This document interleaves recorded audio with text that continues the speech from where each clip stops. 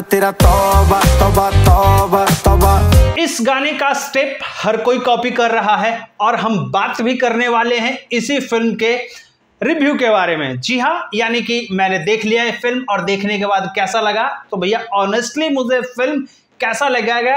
एक एक डिटेल में बात करेंगे। याद है ना गुड न्यूज़ यही अक्षय कुमार वाली अक्षय कुमार वाला गुड न्यूज़ और ये दूसरा है बैड न्यूज़ आप सिमिलर कर सकते हो, लेकिन वो फ़िल्म दूसरी थी और ये फ़िल्म दूसरी है। इसमें रोमांस का तड़का कुछ ज़्यादा ही हॉट लगाया गया है और उसमें थोड़ा कम वाला था। और हम बात करेंगे सिर्फ़ और सिर्फ़ बैड न्यूज़ के बारे में। जी हाँ विकी कौशल एक ऐसा एक्टर एक ऐसा कैरेक्टर कि भैया किसी फ़िल्म में आ जाए तो भैया सौ करोड़ का आंकड़ा छू जाता है। जी हाँ टिकटों की भारी एडवांस बुकिंग के साथ में ज़बरदस्त बम्फर कलेक्शन की तरफ़ बढ़ेगा क्योंकि वाक्य में फ़िल्म में एंटरटेनमेंट जोन खोजा गया है।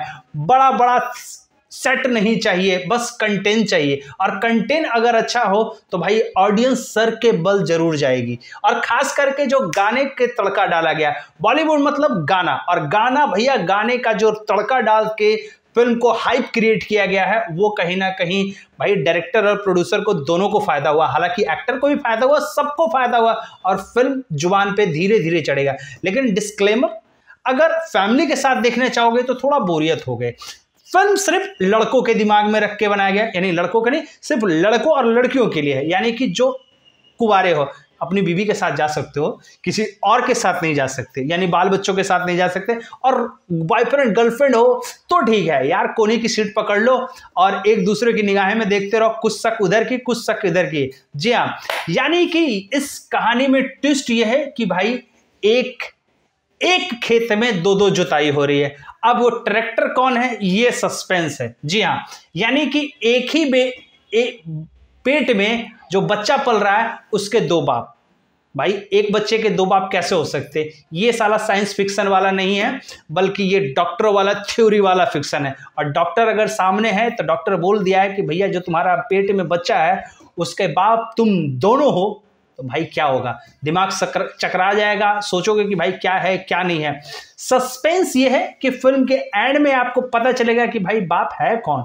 ओरिजिनल है कि कोई तीसरा तो कहीं नहीं मार दिया है। भाई, ये जो दोनों आपस में लड़ रहे हैं, वो कहीं किसी और का तो नहीं है। जी हाँ।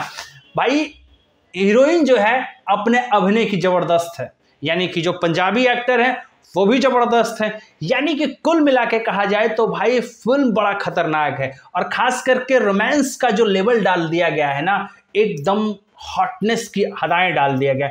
जो आप गाने में देख रहे हैं, उससे एक लेवल ऊपर आपको मिलेगा, हो सकता है उतना ही मिलने वाला। उसका एक लेवल ऊपर मिलेगा।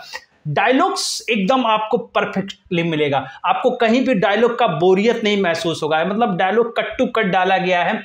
बोरियत वाली जो फीलिंग होती है ना, वो नहीं है। मतलब सब चीज़ ओके ओके ओके ओके है। मतलब आप ये कह सकते हो कि आज के जनरेशन के टाइम पे आजकल का जो रोमांस चल रहा है ना एक से प्यार, फिर फिर दूसरे से शाम को प्यार, सुबह किसी और से प्यार, ये वाली जो कहानी चल रही है ना, वो आपको इसमें मिलेगी। और उसके बाद फिर फैमिली प्लानिंग वाला जो हिसाब किताब, बाद में वाला जो हिसाब किताब चल रहा है ना, वो मेलो ड्रामा जो है ना, जो बॉलीवुड की फ़िल्मों में जो मेलो ड्रामा होता है, बच्चे को लेकर अटैचमेंट जो होती है, उसी के ऊपर है। लेकिन ये नए जनरेशन के टाइम पे दिखाया गया यानी कि नए लोग किस तरीके से सोचते हैं, उसको लेकर है। कुल मिला के कहा जाए, फ़िल्म बहुत फाड़ू है मतलब देखने लायक है, ऐसा लगता है कि भाई, इस तरीके का नया कंटेंट ईजाद किया गया।